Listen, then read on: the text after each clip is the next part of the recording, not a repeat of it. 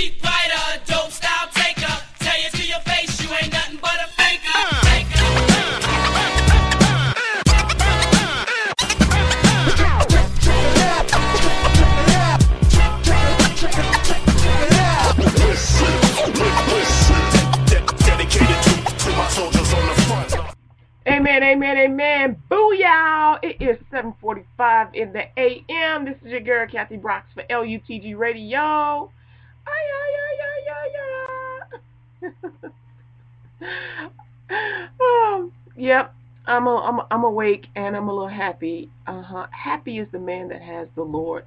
You know that when we refer to man, we actually mean male and female. When God says son, He means both male and female. So he doesn't actually say daughter. That's man saying daughter he says son. He says, This is my son in whom I am well pleased. And he was talking about Jesus. But he'll also call a female a son because, well, he's, he means it's plural. It's male and female. So, no, that does not give you the license to say, well, it's okay for two men to be together because God, God calls the woman son. Shut up. that ain't what it means. And all right, for all the homosexuals, calm down, get your wigs down. Uh, uh, don't worry, I ain't bashing you. You do good yourself. All that fish. You know what? When I was growing up, I'm, I know I'm always talking about homosexuals. Why is this? Because when I was growing up, it was a plethora of homosexuals all around me all the time. It was so many of them that nobody really thought about them being gay. There would be one that would dress up. Oh Lord, he looked just like a girl. He he was he was prettier than the girls, and he was so well kept. But we could tell he wasn't because of the way he, you know, he didn't have the same mannerisms as a female that has those natural mannerisms. But anyway, he was, you know, a nice guy. Uh, but anyway, I was just around so many homosexuals that it was just a regular everyday thing, and I didn't really think too much of it. You know, it's like, oh, that's just so and so. Oh, that's just so and so. Oh, so and so, your friends are here. Blah blah blah. That's just who it was, and we didn't care. And a lot of them went to church, and they sang in the choir, and they did everything else, and they were no different than the men that were heterosexual singing in the choir, sleeping with ten different women in the church. So the all the sins were all the same. And uh, you know, it was just like, oh, that's so and so. The, the the the discord comes when one of them tries to approach you and it's like, I know you gay. I saw you looking at me. And the dude wasn't looking at you to get with you. He was looking at you from this is what the heterosexuals would tell me. I was looking at him trying to figure him out. I couldn't figure him out. And my response is always, don't try. Stop trying to figure it out. Just that's so and so, call him by his name and leave it at that. Because it's you know it's a spirit and you got to let people go their own journey. They you know god leads us into righteousness and he calls us into salvation. And for some people it takes longer than others. So you got to let people take that journey. You give them the word and you feed them the word and, and you minister to them and you pray for them and you be kind to them. You show them kindness. And so a thief, a homosexual, a heterosexual, a prostitute, a pimp, whatever, all the same. Everybody has their own course. A lawyer, a doctor, a singer, a poet, everybody has their own course. So, you know, feed them the word and let God do it. Amen. We got the uh, altar call in the last five minutes of the show and a vocabulary word up in about 10 minutes. Amen, amen, amen. I am going to play Chase Song Smith this time, right? Okay, y'all? Uh, I'll play him in a couple minutes. Here we go. Back in the Day by Foley. I love this girl.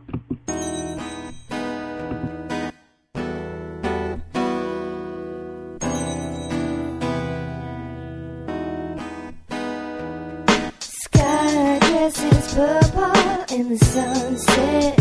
Remind me way back when a child from my when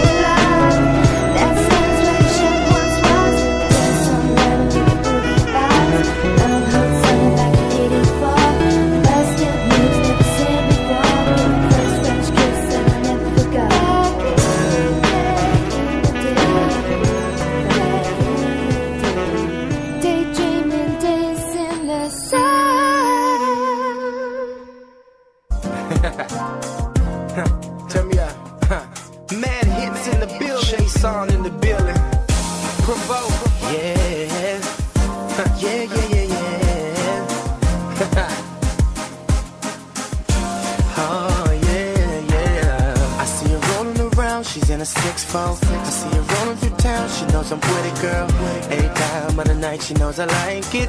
Any kind of different way, that's excitement.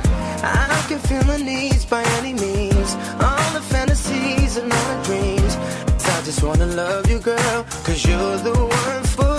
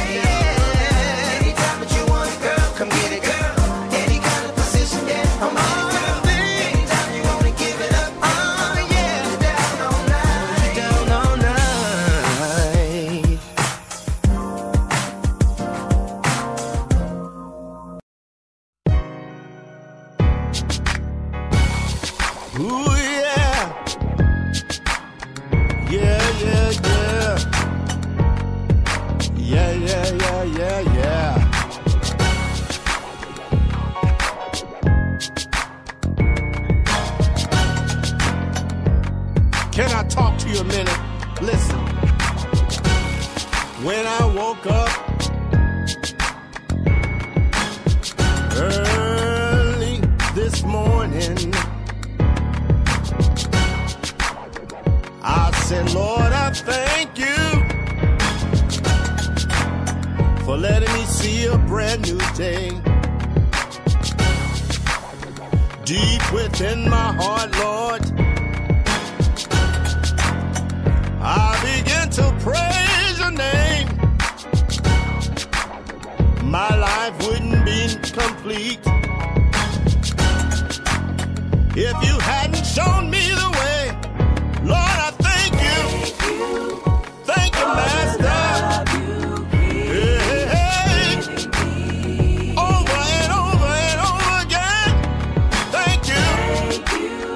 我的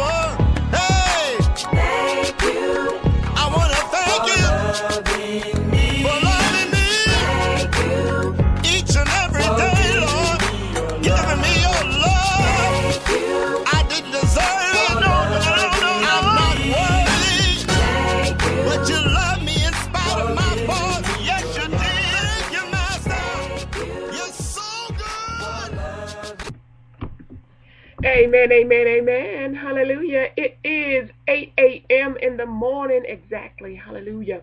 And it's time for the vocabulary word of the day. I got something a little different for you. Um, if you want to sponsor the uh, vocabulary word, send me an email to lutgradio at gmail.com. That's lutgradio at gmail.com to sponsor the vocabulary word of the day. All right, so um, I'm looking in a book called The Covenant which is the name, it's called Voice of the Covenant. It's the name of Jesse Duplantis' magazine. And he sends out these magazines all over the world. And it's a, a form of evangelism. And it's another aid or source uh, for understanding the gospel. And he kind of breaks it down and he uses his own real life a lot, you know, when he's writing the stories. It's him and his wife, uh, Cathy Duplantis, that uh, write the stories in the book or the explanations of the word in the book. Um, and I'm I'm in the September issue. I'm a little bit behind here, but I'm so I'm in the September issue, and uh, he's talking about truth and fact, and he's explaining the difference. So that's the vocabulary word today, truth, and it's uh, based on uh, John 14 and 6, which says, "I am the way, the truth, and the life. No man cometh unto the Father but by me."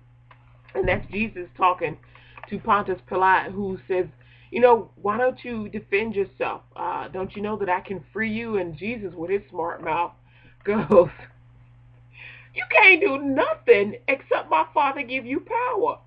So, I love Jesus. That mouth, boy. But it's truth that comes out of, whatever Jesus speaks, it's always truth that comes out of his mouth.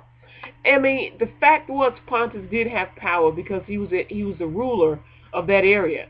That was a fact. Just like a fact that um, somebody may have cancer or somebody may have AIDS or somebody may have gotten hit with a car. Those are all facts. Or somebody may have won a million dollars. That's a positive fact.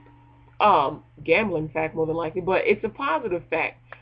But Jesus always speaks about truth. He says, My Father has the power. He says, I am the truth and the light. I am the sacrifice. And he always speaks from the Spirit which gives him fire and power. And And that's the word of God, and that's the vocabulary word, truth. What is the truth? The truth is Christ Jesus. So, um, whenever you're speaking about yourself and your own situations, don't just look at the facts. Okay, so you don't have any money in your pocket right now. But the truth is, God is your source. And that's what I trust on and rely on. God is my source. He has a thousand cattle on a thousand hills. He has more than enough for me. His name is Jehovah God. He sees and provides, and He already knew I was going to be in this situation. He already provided for me. He is calling on people to bless me because He will bless them as you give unto the poor. It's like giving to God, and He will bless you mightily for giving to the poor. So those are my truths that God has already provided for me. All right. So I don't I don't trust and rely on the facts, although they exist. I trust and rely on the truth because it is God. All right. So that's the vocabulary word of the day. Amen. And uh, we got a little bit more music going for you. We got some Will E. Coleman, Praise with All. You can get his song at uh, rradiomusic.com. Amen. It's all right to give him praises. He loves the sound of your voice. He loves it when you tell him how great he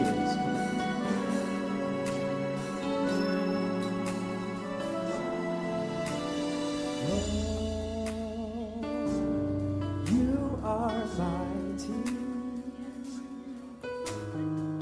and Lord, you are awesome. Lord, you are mighty. And Lord, you are awesome. Everybody lift your voice and say,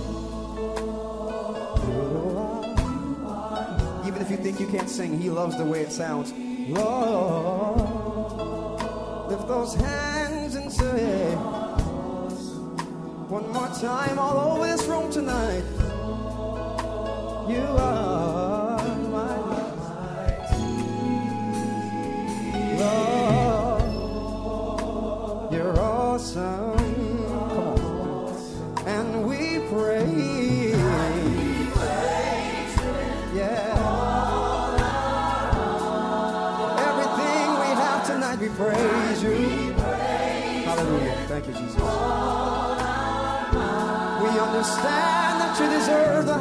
Praise, Lord.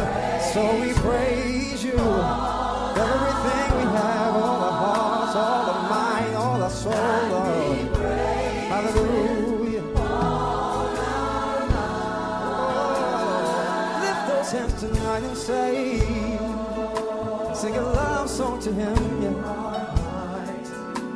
Oh, if you love him, sing it tonight. You're so awesome. There's nobody greater than you, Lord.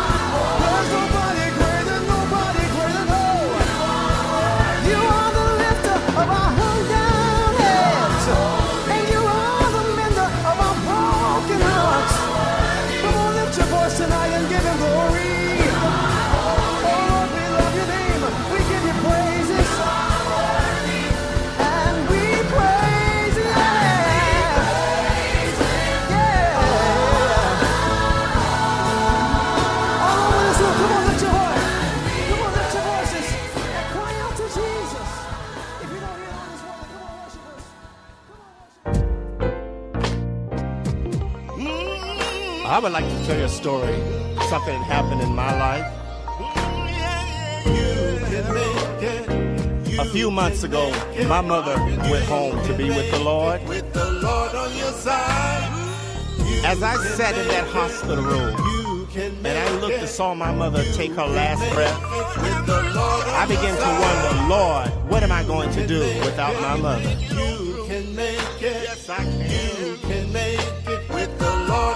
But I begin to remember things that my mother has said to me over the years. One of the things that she's always said to me that we all have an appointed time to leave this earth.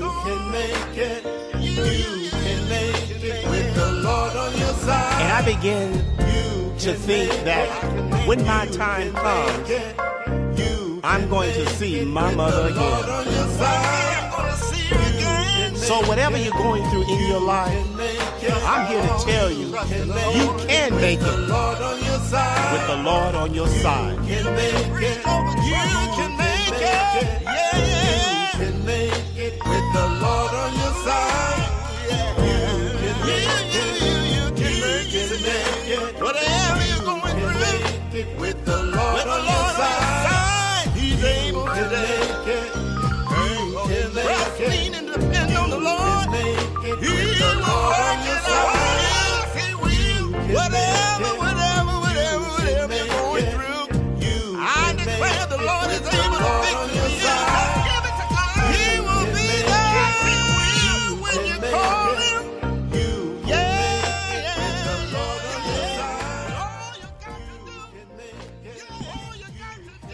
Amen, amen. That was I Made It by Kevin Jenkins. And you can get his music. Um, that one uh, is available um, at Old Sensations uh, Music Group. Uh, you can probably get it on iTunes as well. Uh, Kevin sent me that after um, a, a few months ago in the summer. All right, so for God so loved the world that he gave his only begotten Son, that whosoever believe in him should not perish, but have everlasting life. God did not send his Son into the world to condemn the world, but that through him the world might be saved. Now that's for me, for you, every Jew and every Gentile. God, um, God said, uh, and He said it so plainly. Jesus, like, look, I'm doing the heavy lifting. I'm gonna do the hard work. This is all I want you to do. This is what I want you to focus on. He said, uh, heal the sick, cleanse the lepers, raise the dead, cast out devils. Freely ye have received, freely give. That's Matthew 10 and 8. And it's really just that easy. And he's talking to his disciples. And who are his disciples now? That's me and every redeemed person in this world. So we we are to go forth and preach the gospel. Uh, if you look in John 16:13, it's where it talks about um, the Holy Spirit leading us in the way to go, so we can go into the highways and the byways and preach the gospel. Because you can't deliver nobody from a de- demon or cleanse them from leprosy unless you are before them telling them about God. You you can't do this unless you are opening your mouth and saying, Jesus is Lord. He is the truth, the life, and the way. You you you can't do or say anything unless you are before people, either by radio, TV, or in person. You got to have some medium for them to hear you. Amen. So you you know you're like, okay, well, what about the Holy Ghost? Can't he just you know project your voice? He projects the voice of God. We hear God's voice.